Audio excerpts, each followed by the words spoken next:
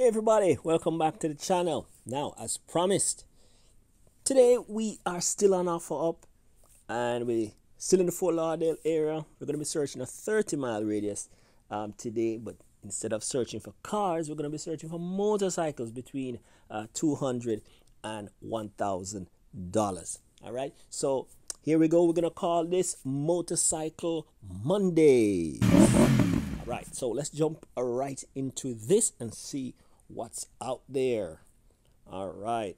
We're going to, I, you know, we're going to be seeing a lot of uh, scooters because you know that's the price range that, you know, uh, scooters primarily are in. Um, but you know, sometimes you see some nice machines, you know, and uh, that's what we're hoping. Okay, hold on a second. All right, here we have something here. What's this? oh, it's a mini bike chopper Honda Predator. Oh my goodness, they have one of these Honda Predator uh, engines. Uh, these are the utility engines that you can hook up to with a pump or you know to a generator or something, and that's what they have running this little bike here. uh, let's just look at the big picture. Yeah, it looks nice and clean, nice and tidy. You know, somebody's little project. You know, shoot, it's got it's got that disc brake at the front. Look at that. Look at that. It's got nice little setup here. Chain drive, you know. Interesting. It's probably let me see what's going on here. Uh zoom in here. Let me see. Um oh it's probably running a little CVT uh setup here, I suppose, you know. It is what it is, you know. yeah. Anyway, yeah. so let's continue yeah so sometimes you know you see some interesting some interesting machines for this in this price range. Uh, what we have here 2008 honda shadow 750 aero. All right let's look at the big picture. Let's see what we're looking at. What do we get for that? Um v twin air cooled all right. See this is uh, you know one of those uh conventional type of motorcycles. Very comfortable these things will be. Very very comfortable all right, looks like we got some tank damage there, but no problem. Let's let's look at uh, what the description says. Currently not running, not surprised. Uh, our best of trades welcome 2008 Honda Shadow. I have the title and the frame is clean. Wheels and accessories have some small surface rust. Sat for a while and doesn't turn over. Tank was bad, so I bought one from a 2007 Shadow. However, it's not correct and doesn't fit well, but comes with the bike. You know, blah blah blah blah blah. But yeah, this is not bad. This is the type of motorcycle that I would be looking for in a sub one uh, thousand um, uh, bracket. You know, something that a lot of these bikes that you're gonna get, they're not gonna be running. You know, let's get that clear. Um, they've sat for a while or whatever the case may be, and usually it's a carburetor issue. That's the number one thing. People park the bikes, and you know they're not winterized, um, so they end up, you know, the carburetor uh, gets corroded and before you know it, uh, it doesn't. You know, they don't run. Okay, but anyway, moving on. Scrolling, scrolling, scrolling. Okay, here, this looks interesting. Let's see what this is. Oh, uh, fairing only BMW R100 RT. Okay, they're just selling the fairing. All right, moving on. So, little scooter there. Um, you're gonna see again. You know, we're gonna be seeing a lot of scooters, you know, which I'm, I'm not I'm not particularly interested in right now. Let's see what's going on with this one. 1996 uh, Kawasaki Vulcan. Okay, let's look at the big picture. Now, these motorcycles, you know, all these motorcycles from this um this type will be very comfortable. My only problem with most of them is that you know they've got drum brakes at the back or whatever. But we are talking about Japanese machinery, so you know they will be relatively um relatively uh, trouble free. You know, in the grand scheme of things. All right, so for 750, let's look at what, what the description says. Been sitting, carbs rebuilt before parking, needs battery and TLC. Okay, all right, fair enough. 750, you know, by all means, you know, I mean, it's, hey, it will need some work, but that's the fun about motorcycles, guys, you know.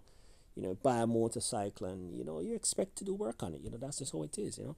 All right, uh, let's see, this is a Kikker 5150 mini bike. What the heck is this? All right, let's look at the big picture. Oh, they're oh they're building a cafe racer type of thing. What the heck, man? This is crazy, man. I, what? Man, this is this is beyond me. But anyway, let's look at what the description says. Very unique, very rare barn find. This bike can be street legal. There is no title. No title. That's not, guys. I don't mess around. A lot of these motorcycles you will find when you start looking around is um, they have no title, and I'm not playing. I'm not messing around with, with no vehicle that don't have no title, none whatsoever. So I just call it a day with that. All right, moving on. Scrolling, scroll. Okay, here.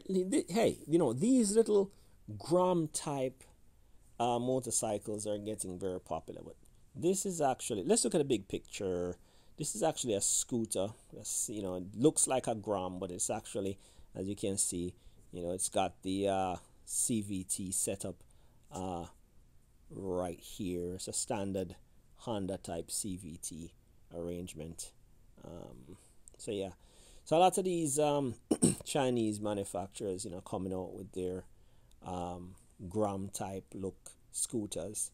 Um, you know, Grom is an interesting motorcycle, but I'm not fixated on it, you know, so it's not something I would gravitate towards. But anyway, uh, let's look at this here. Moto six hundred dollars. What, what is this? Let's uh, let's look at the big picture and see.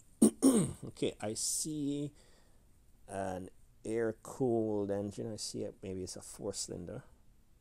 Oh, look at this. Hello. Oh, wow. Look at this. This is not, this is, wow. Now, if this is a real, what is this? How would it, it's a Yamaha. Oh, it's a Maxim. Okay, here we go. It's a Maxim. Okay, that's what I thought. That's what this this is nice, guys. This if this is actually six hundred dollars, wow, this could be a very very good buy. You know, it's pro- at six hundred dollars. It's going going to need some work, but that's fine. All right, let's see description. Vendo esta Yamaha 750 1985. Hay pasarle la mano. Le falta el cable del cloche. Hay limpiarle los cables.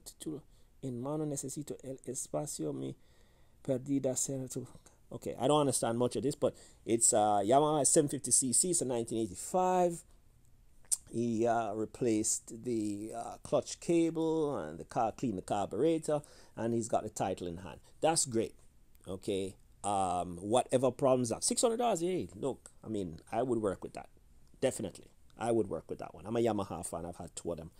Um, excellent machines.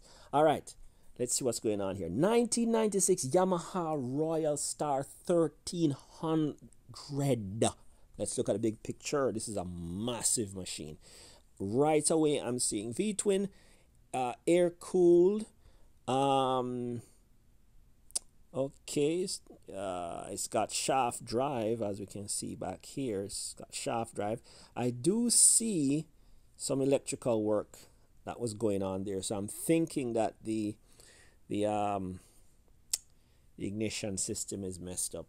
Yeah, this has some extended work that needs to be done. Yeah, but hey, I mean, look, motorcycles are all about bonding with the machine, you know bonding with the machine. They want 900 bucks. All right, let's see what the um what the description says. This 1996 Yamaha Royal Star 1300 only has 19,300 miles and I have a clean in hand. This bike is sold as is and is a great project bike. I do not have time to finish this project and that is why I'm selling. Okay, fair. Fair enough. Fair enough. 900 bucks. Uh, I'm not sure I'd pay 900 because, you know, you can get, you know, motorcycle out there for $900 that are actually moving. But anyway, let's look at this here. What, what, what, what do we have here?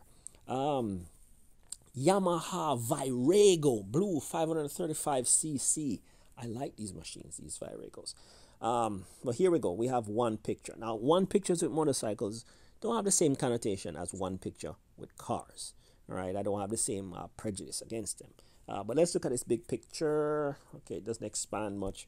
Um, let's see what's going on here. Description: Not running needs carburetor to be cleaned. My only concern here, not running, need carburetor clean, fine, we replace the carburetor. Um, my only concern is if the title is there. The title is there, you know, might be a good, you know, nice little project. You know, sit around and, you know, relax and, you know, get her done. All right. Well, guys, listen. I'm gonna pause right here. You know, thanks for watching. You know, this is uh, Motorcycle Monday. Thanks for joining me on the very first episode of it. And um, join me again um, next week, Monday. We'll do another uh, Motorcycle Monday. And um, don't forget to join me tomorrow. And tomorrow we'll also have another uh, twist to the, the show. All right? So please, if you like what's going on, please uh, like, share, subscribe. You know, let's get this thing done. Thanks for stopping by. See you soon.